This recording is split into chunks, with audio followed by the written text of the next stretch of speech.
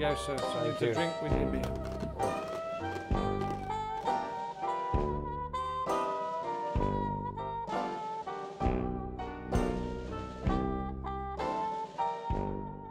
So, comedy. Mm. Where did you start? When I was growing up, all of my heroes were stand-ups. There was that boom in like the late 90s where Eddie Izzard and Sean Hughes, they were like my rock and roll really. So there was a sense like these guys really were rock stars. And I'd grown up basically showing off. Like, That's why I'm the landlord. Is it? Do you like showing there's, off? There's a lot of similar. There is a bit, bit of performance art, you know, behind a bar. Yeah, well, I, I've worked a lot of pubs. When I, from all my teenage years, I worked in pubs, and when you start doing stand-up, you're mainly working in pubs. So I feel very at home here. So, where did the break come? I was working at the Science Museum teaching kids science um, because it was one of those jobs that I could do where I, I, could do that without having to bring any of it home. You know, I just went there every day, so it meant that for the evenings I could be out doing stand-up every night.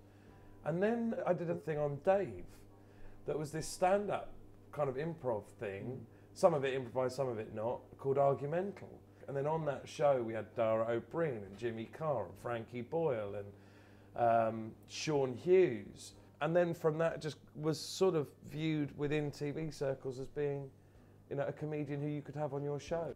How much stand up are you doing? Do you do. do you Well, do that's it, any? none Uh, now. No touring, no. The opportunity to do this uh, little play in Soho came up, and from that I got One Man, Two Guvnors. And that was being able to use all of the skills of stand up, really. One Man, Two Guvnors, I mean, it's a real hybrid between talking to the audience Yeah. and kind of doing the stuff. And um, it, I just, I felt insanely comfortable, and it meant that I hadn't had to write it, was the main thing. Now, you know, there's plans afoot to do Dirty Rotten Scoundrels, which is singing You're playing and dancing. aren't you? Yeah. Yeah. And it is based on a movie that had Steve Martin, who's one of the all-time stand-up greats. So, But of course, we now know where your future lies, don't we? which is, On the dance floor. yeah. Oh, Uh, sure. Yeah, no, I mean, it's, uh, was did that come out of the blue to you? Well, kind of.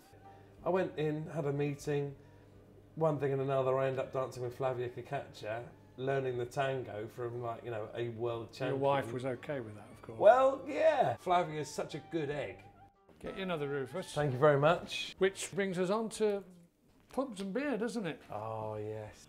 When you do stand up, you're travelling around like pub to pub, especially in the early days.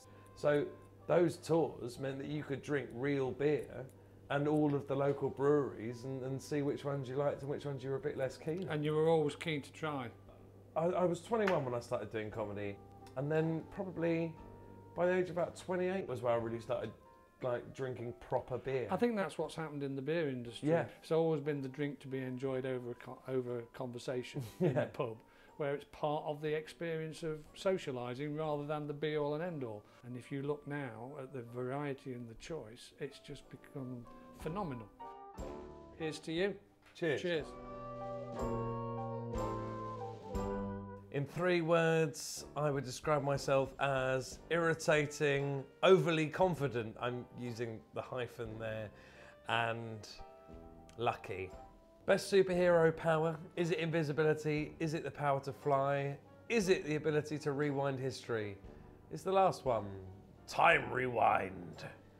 Kelly, Fern, and Holly, snog, marry, avoid. Uh, I would, I would avoid Kelly because she was on it when I wasn't on it. I don't really know her. Political, also. I think she's probably a bit of an idiot. I would snog Fern and marry Holly. Am I a dog or a cat person? I called myself Rufus Hound. What do you think the answer to this is? Asterisk. I actually own two cats and no dogs.